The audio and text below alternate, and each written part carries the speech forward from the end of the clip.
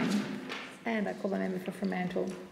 Thank you, Deputy Speaker. Look, there's no doubt that well-framed and fair multilateral trade arrangements have the potential to benefit Australia and what's more to help build an open and balanced international system of trade that su supports sustainable growth in developing countries.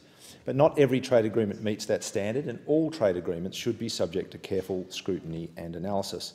The starting point is to recognise that modern so-called free trade agreements generally encompass a lot more than trade and they continue in many cases to add to the noodle bowl of bilateral or at best plurilateral arrangements. Complicated and uneven preferential deals between pairs of countries are not helpful in the long run, and yet the TPP-11 with its myriad side letters and suspended terms has been described by the Trade Minister himself as 18 free trade agreements. The TPP-11 also includes, for example, the liberalisation of foreign labour access, and it exposes Australia to investor-state dispute mechanisms that allow multinational companies to sue governments. That give uh, multinational companies rights that aren't afforded to domestic companies, rights that can have a chilling effect on domestic policy in areas like public health and environmental protection. We've previously seen ISDS action taken by Philip Morris against Australia's world-leading uh, tobacco harm reduction policies. The highly concerning aspects of the original TPP that would have extended monopoly rights over biologic medicines with corresponding healthcare and health costs implications for Australia have merely been suspended pending the possible re-entry of the US. Deputy Speaker, if trade agreements were simply about reducing the tariff applied to Australian wine in Canada or increasing the tonnage of hard cheese that can be exported to Japan, it would be relatively easy to weigh up their quality. But modern trade and investment agreements go much wider than that. And what's been disappointing in the work of this parliament is both the obfuscation and the superficial cheerleading from the government in relation to any and all preferential trade agreements. Such treaties have been shielded from proper analysis and scrutiny. If the government is so convinced about the value of any particular trade agreement, why does it continue to keep the Australian public and indeed the Australian Parliament in the dark?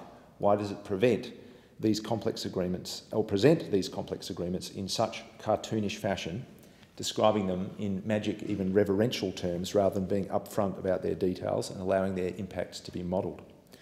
Uh, the Joint Standing Committee on Treaties, when considering the first version uh, of the TPP in 2016, sensibly recommended that all such agreements should be made subject to independent analysis. That follows the same recommendation from the 2015 report of the Foreign Affairs, Defence and Trade References Committee. And the same recommendation was subsequently made by the Joint Standing Committee on Trade and Investment Growth last year. All those recommendations have been rejected. And on that basis, the call at the end of this motion for the Parliament to work cooperatively in the pursuit of trade agreements really is a bit rich. Uh, if the government ignores the J-SCOT and rejects out of hand recommendations from two separate committees on which it has a majority of members, it's more than a bit ridiculous for this motion to suggest that it's Parliament that needs to be cooperative. Deputy Speaker, it, it does no one any good to have trade and investment agreements considered in an atmosphere of uh, simplistic and sloganeering self-congratulation. Over and over, coalition ministers and members have talked about prospective agreements in laughably misleading terms. Trade agreements have been yoked willy-nilly onto the jobs and growth wagon which is only understandable to the extent that the government is otherwise without a clear economic plan.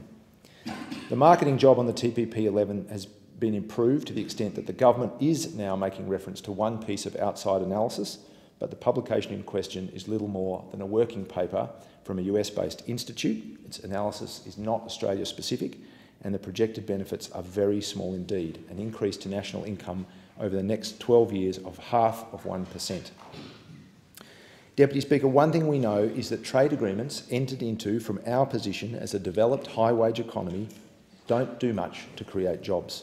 Not surprisingly, the analysis of the full TPP agreement by Tufts University as part of a World Bank study showed the deal would result in a loss of 39,000 jobs over the first decade.